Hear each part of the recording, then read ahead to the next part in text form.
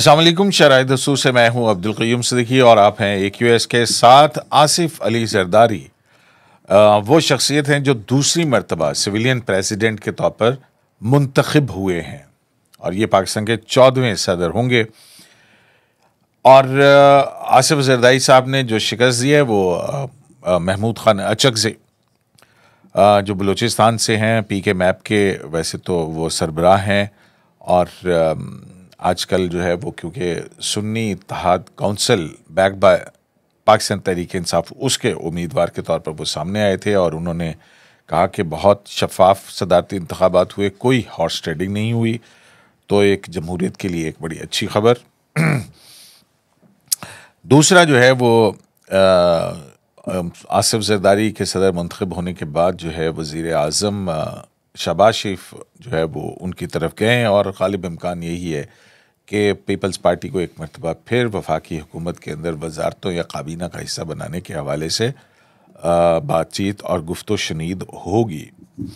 ज़ाहिर है, इस सारे सूरत हाल के अंदर जब बिलावल भुट्टो लाहौर में वोट मांगने गए थे पी एम एल एन से, आपने देखा गुज्त रोज़ मरीम नवाज़ और उनकी मुलाकात भी हुई थी। वहाँ पे भी ज़ाहिर कुछ ना कुछ तो हुआ होगा और अब प्राइम मिनिस्टर जो है वो आसिफ जरदारी साहब के पास जा रहे हैं। एक और जो बात है वो ये है कि पंजाब की हुकूमत जो है वो कैसे जा रही है। रमज़ान पैकेज भी आया है उसके ऊपर भी कंट्रोवर्सी चल रही है। लेकिन होगा क्या? लेकिन साथ ही साथ जो है वो शेर अफसल मरवत जो हमेशा ख़बरों में रहते हैं कभी अपनी एक स्लैंग गुफ्तु की वजह से कभी वो जो अपना मुशाहिदुल्ला खान साहब के बेटे हैं अफनान मुशा अफनान अफनानुल्ला खान। अफनानुल्ला खान। तो उनके साथ एक टीवी प्रोग्राम मुठभेड़ के बाद या जलसे जुलूस, अपने एक उन्होंने सोशल मीडिया, टिकटॉक सब जगह बहुत पॉपुलर हैं, बड़ी पॉपुलैरिटी है। आज उन्होंने एक अजीब सा बयान दिया है और वो बयान ये है कि शायद उनको टारगेट किलिंग के लिए किसी को ठेका दे दिया गया है और उस हवाले से वो इल्ज़ाम जो है वो, ज़ाहिर है, अपने ही सियासी मुखालिफ वज़ी अला पंजाब मरीम नवाज़ के ऊपर लगा रहे हैं और वो दावा भी कर रहे हैं कि उनके पास ऐसी एविडेंस है जो एफ़ आई ए को देंगे वो। तो इस पर गुफ्तु करते हैं और मेरे साथ हैं हमाद हसन साहब। हमाद साहब ये शेर अफजल मरवत साहब जो हैं ये हँसी मज़ाक करते करते ये इतना संजीदा एलिगेशन देखिए वो आपको इसमें वो हकीकत नज़र आती है वैसे? मैं मैं आता हूँ उस तरफ़। देखिए वो ये इल्ज़ाम नहीं लगाएँगे तो उनकी पॉलिटिकल सर्वाइव कैसे होगी? यही तो इसी पर तो उनकी सियासत चलती है शेर अफजल मरवत की भी चलती है। देखिए असद कैसर इमरान ख़ान के साथ गुज्त तकरीबन सताईस अट्ठाईस साल से इमरान खान के साथ ही। हम्म। जब लाहौर मीनार पाकिस्तान जलसा भी नहीं हुआ था। इमरान खान अकेले फिर रहे थे यूसुफ बेकार वहाँ होकर उस वक़्त कोई नहीं था उसके साथ। असद कैसर उस वक़्त भी था। मेरे इलाके के मैं ज़ाती तौर पर हाँ। जानता हूँ। असद कैसर उनके हीरो नहीं है। अली जफ़र नहीं है। बैरिस्टर गोहर चेयरमैन है वो नहीं है। उनके हीरोज़ कौन होते? उनके गंडापुर। गंडापुर होते हैं शेर अफजल मरवत होते हैं। ये लोग ये एक रवैया है ये सियासत नहीं है एक रवैया है। और ये लोग रोज़ रोज़ इसी तरह करते हैं और वो पॉपुलरिटी गेन करते हैं और उस पॉपुलरिटी के पीछे फिर बहुत सारे मामलात भी इनके चलते हैं। हम्म। शेर अफजल मरवत ने जो इल्ज़ाम लगाया वो इतना घटिया है ना इतना नीच इल्ज़ाम है कि उस पर गुफ्तगु ही नहीं करनी चाहिए। अब मरियम नवाज़ को शेर अफजल से क्या ख़तरा है? शेर अफजल तो बस उस जत्ते में वो जो जो लहर चल पड़ी थी ना तो उसमें तो बहुत सारे जीत गए। एक शेर अफजल मरवत भी जीत गया। और अगर शेर अफजल मरवत को खुदा न खास्ता नहीं आपके तो वैसे भी पुराने ताल्लुक हैं उनके साथ जब वो फाइनेंशियल टाइम्स के अंदर शायद अब रिपोर्टर होते थे तो, तो आप तो छोड़े ना बहुत पुराना जानते क्यों हैं? क्यों आप मुतनाज़ बातों की तरफ़ जाते हैं? फाइनेंशियल टाइम में रिपोर्टर थे तो ठीक है ना साफ़ ही थे कोई बुरी बात तो नहीं है। नहीं मैं तो ये कह रहा हूँ कि आप उसको उस वक्त से जानते हैं ना यार आप बहुत अच्छा तक जानते होंगे ना। पुराना हूँ लेकिन ठीक है साफ़ ही थे तो ये ये तो अच्छी बात है ये तो उनके क्रेडिट पे जाती है कि उन्होंने साफत भी की है। हाँ। लेकिन आप शरारती बातों से बाज आए ये कोई बुरी बात नहीं है साफी तो मैं भी हूँ आप भी है ना। नहीं वो वो तो तो ठीक पे बात है मैं तो मैं तो ये नहीं कह रहा ना मैं तो मेरा तो नुक्ता नज़र ये था कि उन्होंने क्योंकि उन्होंने आपके साथ सहाफत की है। आपको पता है कि उनका तरीका कर क्या होता उनका था? देखिए उसके बाद वो वो- सिविल जज भी रहे हैं और फिर और जगह भी रहे हैं और वो सारी कहानियाँ भी सबको पता है इस शहर के अंदर कौन सी चीज़ लोग किसी से छुपी हुई है अच्छा छोड़े ना। अच्छा उन्होंने जो जो इल्ज़ाम लगाया है ना वो इतना घटिया इल्ज़ाम है कि उस पर गुफ्तगु ही नहीं करनी चाहिए। और चले हम ज़रा हकाइक की तरफ़ जाते हैं। हाँ। अगर खुदा न ख्वास्ता मरियम ने ये करना होता तो वो इंडियन शहरी को हायर करती। वो साउथ अफ्रीका में शहरी को हायर करती। वो दुबई में भाई तुम तो लकी मरवत के रहने वाले हो जिसके किनारे पर वजीरिस्तान भी है और जिसके दूसरे किनारे पर अफगान बॉर्डर भी है। आप क्या समझते हैं कि ये बिल्कुल कोई इसके पीछे सोची समझी बात नहीं बिल्कुल ये ये क्या बात कर रहे हैं आप? ले मैं अब आपको बताता हूँ इसके पीछे टारगेट करने की वजह क्या है? अच्छा वो जिंदाल का नाम जो लेके आए हैं देख रहे हैं जिंदाल का जो नाम लेके आए वो क्यों लेके आए हैं? याद है ना जिंदाल का एक हाँ। माजी, माजी है हम्म। और वो एक बड़ा बिजनेसमैन है शरीफ फैमिली से ताल्लुकात हैं। ये आपको याद होगा कि वो आए भी थे जब यहाँ लेकिन शेर अफजल मरवत ये सब कुछ क्यों कर रहा है? इसको आप आप हाँ। नहीं समझ रहे हैं। वो इसलिए कर रहे हैं। अब मुझे थोड़ा सा बोलने दे इस पर हाँ। वो इसलिए कर रहे हैं कि खैबर पुख्तनख्वा के अंदर पी टी आई शदीद टूट फूट और इंतशार का शिकार है। और वहाँ पर इमरान खान की गिरफ्त तकरीबन ख़त्म होती जा रही है। ये जो काबीना बनी है ना मैंने पहले भी आपसे कहा था कि इमरान खान की चॉइस से ये काबीना नहीं बना। इमरान खान ने तो कहा था कि तैमूर झगड़ा को मुशीर ख़जाना बना दे। असद कैसर ने मीडिया के सामने कहा कि खान साहब ने हिदायत दी है कि मेरे भाई आकिबुल्ला खान को स्पीकर बनाए फिर वो स्पीकर क्यों नहीं बना मिनिस्टर बना?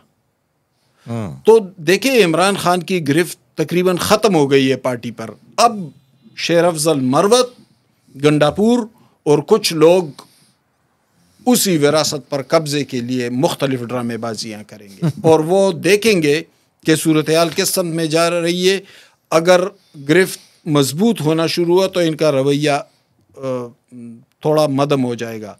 गिरफ्त ढीली पड़ना शुरू हुआ तो इनके रवैये में मज़ीद जारहानापन आएगा। नहीं मुझे एक बात बताएँ कि ये इस तरह का गैर जिम्मेदाराना बयान क्यों देगा कोई? तो, तो यही तो मैं कह रहा हूँ। तो ज़ाहिर है क्योंकि ये बड़ी अब देखे ना उसके बाद गॉड नोज़ बेटर के हम तो सबकी ज़िंदगी की जो है और वो और करते हैं। शेर अफजल मरवत से खतरा क्या है उनको? हाँ। वो एक हल्के के एम एन ए है ना और अपोजिशन में बैठे हैं शोर मचाते हैं तो मचाते रहें। वो वो कौन सा वो उनके लिए बहुत बड़ा खतरा है कि उनके हाथों से मरकजी हुकूमत निकल जाएगी तो ये मतलब है कि एक एक शख्सियत पे इल्ज़ाम लगा के अपना कद बड़ा करने वाली बात है। कद बड़ा कर रहे हैं जैसे यहाँ हमारे कुछ जो है इसलिए बड़ा होते हैं वो ऐसे कद- काम खा के अंदर बड़े बड़े इसलिए बड़ा कद इसलिए बड़ा कर रहे हैं कि खैबर पुख्तनख्वा में मुख्तलिफ़ ग्रुप से पीटीआई में और वो उन ग्रुप्स के सतह से ज़रा अपने आप को ऊपर ले जाकर अपने आप को पी- खैबर पुख्तनख्वा का इमरान खान बनाना चाहते हैं ताकि आने वाले वक्त में उनका जो जो कदोकामत हो ना हम्म।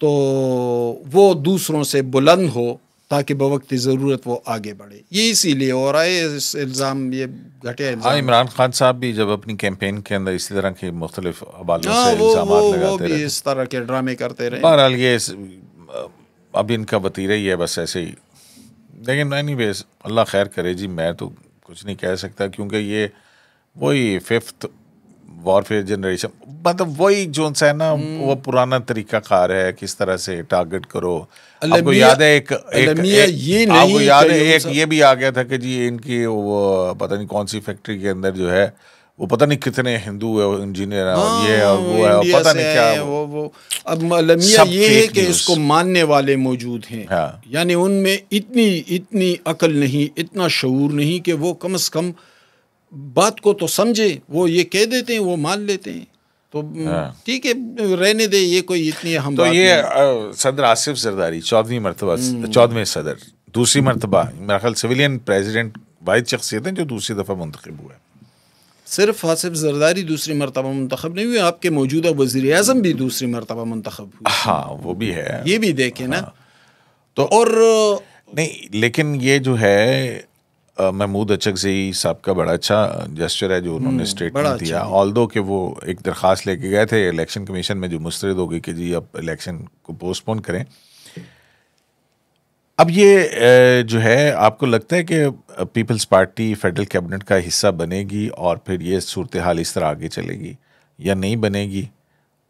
देखिए एक मिनट मुझे और कौन कौन से अहम वजारतें जो है वो अब अब तो सदर हो गया ना अब तो देखिए अचीव कर लिया। देखिए। अब उसके बाद की पॉलिटिक्स कैसी लगती है तो आप मुझे मौका दें ना। सवाल तो पूरा होने देना आपको भी तो जवाब देने की बहुत जल्दी आई हुई होती। है अच्छा। देखिए आसिफ जरदारी साहब दूसरी मरतबा मंतखब हुए आप लाख इख्तलाफ करें ना उनसे, को कुछ भी कहें, लेकिन वो सियासी लॉट के होशियार तरीन आदमी हैं। इंतहाई ज़ीरक और दाना सियासतदान है और मफाहमत की पॉलिसी लेकर चलते हैं। और अब भी ये जो कुछ, जो मंजरनामा बन रहा है ना, इसमें उनका बड़ा किरदार है। अब चार लोग इस मुल्क के अहम तरीन लोग हैं। प्रेसिडेंट आपके आसिफ जरदारी हैं उनकी दानाई पर कोई उंगली नहीं उठा सकता उनके दुश्मन भी उससे इनकार नहीं कर सकते। आपके प्राइम मिनिस्टर शहबाज शरीफ हैं। अगर एक जाहिलाना गोल को आप नज़रअंदाज करें तो कम अज़ कम आप मानेंगे कि इस मुल्क के बेहतरीन एडमिनिस्ट्रेटर वो रहे खसूस जब पंजाब में वो चीफ मिनिस्टर थे। शहबाज स्पीड मशहूर है शहबाज मतलब स्पीड इंटरनेशनली उसको रिकग्निशन मिली। लेकिन अच्छा प्राइम मिनिस्टर का काम से पुल बनाना मैं मैं आता हूँ। आपके चीफ जस्टिस जस्टिस फाइज हैं बिल्कुल। यानी वो वो उनकी तारीख उससे बिल्कुल मुतजाद समत में है जो साकिब निसार की तारीख है। यानी वो एक दलेर और ईमानदार जज हैं। उनसे इख्तलाफ हो सकता है उनके फैसलों से। लेकिन कम अज़ कम आपको मानना पड़ेगा कि वो इंतहाई दयानतदार और दलेर जज हैं। और फिर जो उनके ख़िलाफ़ जो रेफरेंस आया था और फिर वो जिस तरह कोर्ट में उन्होंने फेस किया तो वो वो सारी तारीख है। आपके chief of army staff general Asim Munir हैं और मैं बाज़ करीबी उनके लोग हैं। मैं जानता हूँ कि वो इंतहा दर्जे के ईमानदार हैं। ठीक। तो आपके चार लोग जो हैं ना उनकी अलग अलग एक खूबी है। और ये मुल्क बहुत बर्बाद हो चुका था कयूम साहब। इस मुल्क की मीशत इसकी तहजीब इसकी जमहूरियत इसका निज़ाम इंसाफ ये सब कुछ तो तबाह बर्बाद कर दिए गए थे ना। अब अगर ये चार लोग अहम तरीन लोग जो हैं अगर इनकी सलाहियत इनकी ईमानदारी और इनका अखलास इसमें खुदा न खास्ता कोई दरार ना आए तो आने वाले दिन हमारे लिए इंतहाई अच्छे होंगे, इंशाल्लाह।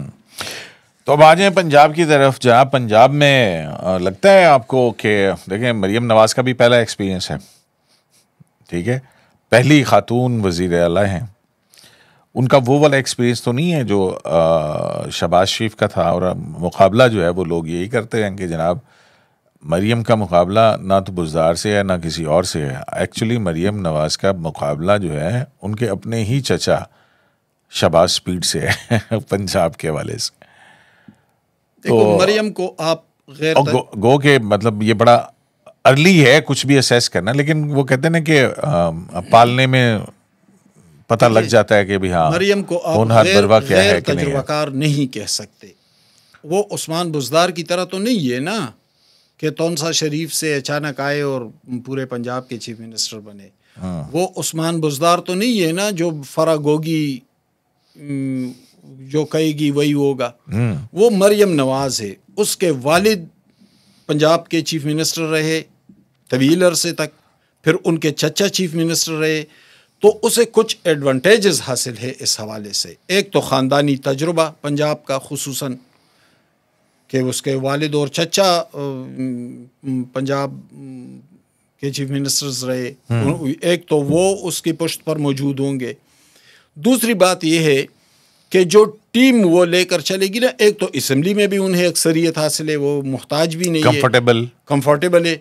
अच्छा उसको कोई फरा गोगी और कोई खबर मानी का और कोई इस तरह के लोग भी उस पर दबाव नहीं डाल सकेंगे। हम्म। वो बिल्कुल बोल्ड एंड फ्री होगी अपने फैसलों में। और एक और अहम बात यह है कि जो उनके इर्द गिर्द जिस टीम को इकट्ठा किया गया है ना तो वो टीम बड़ी तजुर्बाकार है। और ये वही टीम है जो शहबाज शरीफ के साथ भी काम करती रही है। पॉलिटिकल साइड पे या ब्यूरोक्रेटिक साइड पे आप बात फ़िलहाल ब्यूरोक्रेटिक साइड पे क्योंकि पॉलिटिकल तो अभी दो दिन हुए ना काबीना बनी है हाँ। दो तीन दिन हुए। तो वो तो फिर बाद में हम उस पर बात करेंगे। हाँ, लेकिन लेकिन ब्यूरोक्रेटिक है वो तो उधर से। शहबाज शरीफ की कामयाबी की बड़ी वजह ये थी कि ब्यूरोक्रेसी में उसकी टीम बड़ी ज़बरदस्त थी। हाँ। बहुत कमाल की टीम उन्होंने रखी थी। और ये जो मौजूदा टीम है ना ये भी वही कंटिन्यूएशन है बल्कि मरियम जो इस वक्त जो हुकूमत चला रही है वो बुनियादी तौर पर निगरान हुकूमत जो थी उसका एक तसलसल लेकर आगे बढ़ रही है। यानी चीफ सेक्रेटरी वही है जो निगरान हुकूमत में थे हम्म। आई जी वही हैं जो निगरान हुकूमत में थे लेकिन इसके साथ साथ वो जो टीम बना रही है वो वही टीम है जो शाहबाज शरीफ के साथ रही है। यानी आप देख ले उनके प्रिंसिपल सेक्रेटरी जफ़र डाल ये शाबाज की टीम का हिस्सा था। हाँ। ये कमिश्नर पिंडी भी रहे डीसी बहावलपुर भी रहे डीसी पिंडी भी रहे शाहबाज शरीफ के साथ भी काम किया। अच्छा उसमें उस वक्त ये लोग ज़्यादातर जूनियर्स पोजीशन पे थे यानी डिप्टी कमिश्नर थे एडिशनल सेक्रेटरी थे या ये लेकिन शाबाज टीम में थे तो वहीं से तजुर्बा लेकर और शरीफ फैमिली का अतमाद लेकर वो टीम अब सीनियर पोजीशन पर आ चुकी है और वो टीम मरियम के इर्द गिर्द यानी मैंने जफ़र डाल की मिसाल दी नूर अमीन मैंगल ये एल डी ए के डी जी भी रहे कमिश्नर हाँ। लाहौर भी रहे शहबाज शरीफ के साथ काम किया। फ़ूड अथॉरिटी के भी रहे। नूर लमीन फ़ूड अथॉरिटी नूर लमीन मैंगल जो है वो इस वक्त होम सेक्रेटरी पंजाब बना दिए गए हैं। जफ़र डाल principal secretary to chief minister है। अच्छा न, न वो दूसरे क्या है? नबी आवान। हाँ। नबील आवान हमज़ा शहबाज के प्रिंसिपल सेक्रेटरी थे लेकिन जब हमज़ा को अदालत ने हटाए तो उन्होंने नबील आवान को अपने गवर्नर बलीगुरमान साहब के पास भेजा एज ए प्रिंसिपल सेक्रेटरी। क्योंकि गवर्नर तो उन्हीं का था तो वो गवर्नर पंजाब के साथ रहे। अब उसी नबील आवान को पीएनडी का चेयरमैन बनाया है क्योंकि बड़े बड़े प्रोजेक्ट्स आने हैं ना पंजाब में तो पीएनडी की अहमियत बहुत ज़्यादा बढ़ रही है उस हवाले से तो उसी नबील आवान को यहाँ पे ले आए। मोहम्मद अली रंदावा हैं। ये मोहम्मद अली रंदावा डीसी गुजरात है और डीसी गुजरात जब हम वो क्यों निकाला कैंपेन चल रही थी ना एलडीए के डीजी भी रहे। एलडीए तो, तो उसी मोहम्मद अली रंदावा को भी लेकर आए हैं। तो ये जितने जितने जो पुराने उनके लोग थे ना उनकी टीम में उन हाँ। उनको मरियम के इर्द गिर्द इकट्ठा किया गया। एक तो ये ब्यूरोक्रेट्स बसलाहियत बहुत हैं। यानी उनमें टैलेंट बहुत है और एक उनका अहतमाद भी इनको हासिल है। तो कुछ इंडिकेशंस ऐसे हैं कि जिस तरह वो शाहबाज वाली कंटिन्यूटी लेकर ये आगे बढ़ेगी लेकिन और फिर दूसरी एक बड़ी बात यह है कि वो के पी की जिस तरह से कॉन्फ्रेंट्रेशन फेडरल गवर्नमेंट के साथ है पंजाब की ज़ाहिर है कि वो कॉन्फ्रेंटेशन शायद उस तरह की नज़र नहीं आएगी आपको। ये भी एक बड़ी एडिड एडवांटेज एडवांटेज एडवांटेजेस की बात हम कर रहे हैं एक तो हाँ। तो ये है कि मरकज़ बिल्कुल आपकी बात सही है कि मरकज़ी हुकूमत के साथ उनकी कोई कॉन्फ्लिक्ट नहीं होगी और वो एक साथ तो, चलेंगे हाँ। लेकिन कुछ हाँ। हवालों से रिजर्वेशंस भी है यानी मरियम औरंगज़ेब को बहुत ताकतवर पोजीशन पर लाया गया है सीनियर मिनिस्टर मरियम तो औरंगज़ेब के हवाले से ब्यूरोक्रेसी में भी और अवामी सतह पर और खसूस उनके रवैये के ख़िलाफ़ एक कुछ रिजर्वेशंस हैं। तो लेकिन चूँकि मरियम औरंगज़ेब तो बड़ी ख़ास है ना उनको तो अतमाद हासिल है। लेकिन नहीं देखें वो मरियम औरंगज़ेब बड़ी इंपॉर्टेंट पोजीशंस पे रही हैं। वो सारे मामला जो मीडिया के देखते रही हैं। इंफॉर्मेशन मिनिस्टर रही फेडरल गवर्नमेंट के अंदर। फेडरल गवर्नमेंट को छोड़ के वो उधर गई हैं। ऑल दो के वो मखसूस नशस्तों पर आई हैं लेकिन आ, ज़ाहिर है देखना है लेकिन एज इंफॉर्मेशन मिनिस्टर उनकी कारकर्दगी अच्छी नहीं थी। आपको याद है ना वो बिल जब आया था? फेक न्यूज़ वाला। फेक न्यूज़ वाला। और फिर ए, ये आपके तो परफेक्ट तो कोई भी नहीं होता ना एक- साहब। आपके एक सहाफ़ी की बात मान ली और तमाम सहाफत की बात उसने जुटा दी थी। हाँ नहीं लेकिन देखें ना बात ये है कि ठीक है आपके शिकवे शिकायत हैं उनके साथ तो लेकिन वो सेंटर छोड़ के पंजाब के अंदर हैं तो उसकी भी कोई वजह होगी ना की वजह यही है कि वो शरीफ फैमिली के बहुत करीब है वो पूरा ख़ानदान उनकी वालदा भी तो उसको मरियम को आज आज का बिस्तर बोरिया लपेट लें फिर। लपेट लें। हाँ? लपेट लें। तो वो तैमूर झगड़ा साहब को कब आ रहे हैं फिर? ओ सॉरी तैमूर झगड़ा कह रहा हूँ तैमूर खान साहब अपने वो दोस्त। आज आ रहे थे लेकिन चलो इस्लामाबाद आएँगे तो फिर उनको बुला लेंगे इंशाल्लाह। चलें जनाब मतलब शेर अफजल मरवत जो हैं उनके इल्ज़ाम जो हैं मुझे तो दाल में बहुत कुछ काला नज़र आ रहा है कि ये ऐसा ऐसा शुरू क्यों किया गया है? क्या चीज़ है जिसके ऊपर इंगेज करने की कोशिश की जा रही है? ये मुझे कुछ छोटी बात नहीं लगती है इसके पीछे कोई बहुत ही बड़ी मुझे तो लगती है बहरहाल मैंने आपको बता दिया कि वो के पी पी टी आई पर कब्जा करने के लिए सब कुछ अपने आप को सबसे अहम तरीन बनाने के लिए ड्रामा कर रहा है। ड्रामा कर रहे हैं। शराय दस्तूर से अब्दुल करीम सिद्दीकी को एक वे लाइव से इजाज़त दीजिए अल्लाह ने के बाद।